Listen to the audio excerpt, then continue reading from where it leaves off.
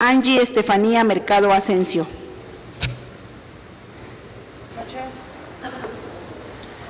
Buenas noches, señor fiscal. Voy a tratar de ser breve porque ya están todos muy cansados. Eh, pues nosotros aquí en esta legislatura estamos conscientes, como lo dijo la compañera Luz María, que pues usted se sacó la rifa del tigre con la fiscalía.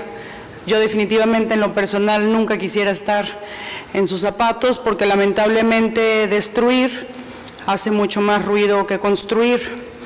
Por el otro lado, yo sí hoy quiero aprovechar para reconocer, porque me consta, la labor que usted ha hecho eh, con la Fiscalía y con los centros empresariales en la Riviera Maya en el ámbito de extorsión, que es uno de los temas que más nos preocupa y nos ocupa.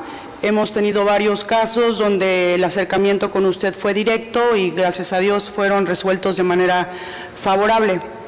Por el otro lado, igual, eh, la pregunta en concreto que yo quisiera hacerle es qué acciones está tomando la Fiscalía para poder sensibilizar la atención de las víctimas de delitos y lo más importante, qué se está haciendo para evitar la revictimización. Muchas gracias. Con su permiso, diputada, bueno, capacitación es lo único que nos va a hacer que nuestros ministerios públicos tengan eh, la sensibilidad hacia la víctima desde luego damos también mucha capacitación en temas de derechos humanos para evitar la revictimización.